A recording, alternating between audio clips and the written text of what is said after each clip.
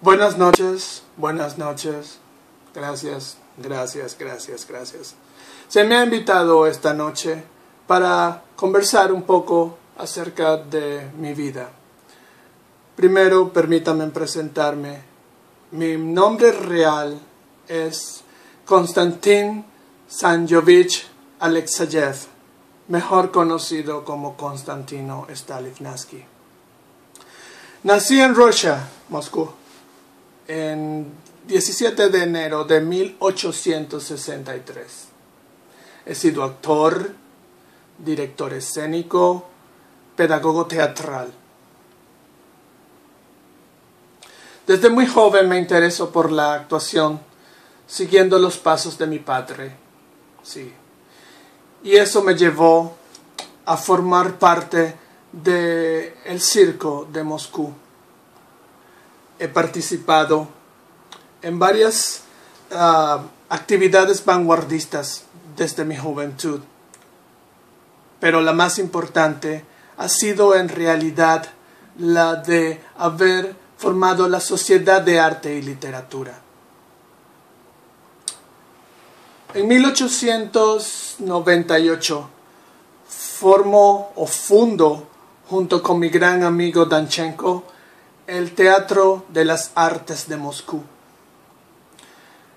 En esos años participé activamente como actor, eh, interpretando entre otros personajes el de Otelo de Shakespeare y Julio César.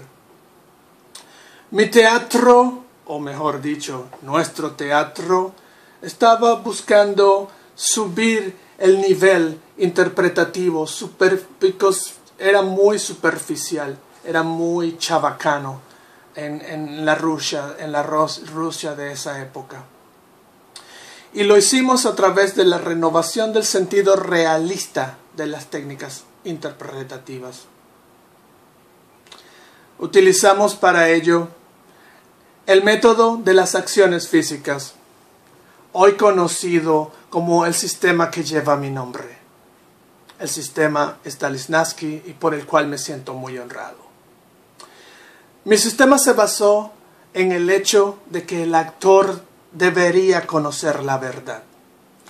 El actor debe sentir el personaje, debe buscar internamente sus sentimientos, eh, eh, hallando experiencias en su pasado que le permitan traer a su presente eh, y utilizar esos sentimientos para expresar el personaje y es aquí donde entra la memoria emotiva, en donde el actor busca vivir la obra como un hecho real. ¿Que cómo lograba esto?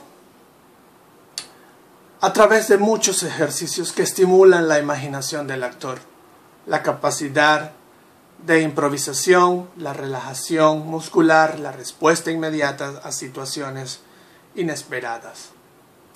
Como director, en esa época realzamos el teatro de Moscú. Sin embargo, no tuvimos, eh, sin embargo nos vimos afectados fuertemente por la revolución soviética. Por lo que después me dediqué a acumular mis experiencias y a plasmarlas en mis libros y en mis notas. Sí, sí, los reconocimientos fueron Posteriormente, en 1917 fui nombrado miembro de la Academia de Ciencias de San Petersburgo.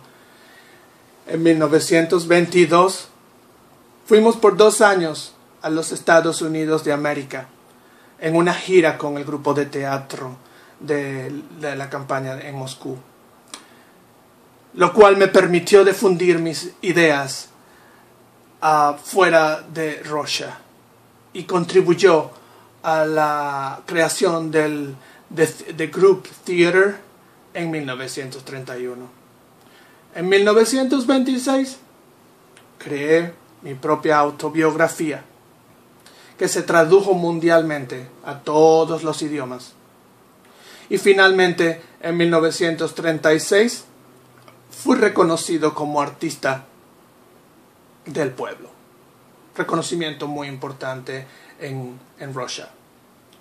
He dejado múltiples notas, apuntes que juntos con mis libros servirán de legado más adelante para que el cine fije sus ojos en mis técnicas interpretativas y así se funde en el 47 el Actor Studios en la ciudad de Nueva York. Muchísimas gracias. Gracias, gracias por su tiempo. Buenas noches.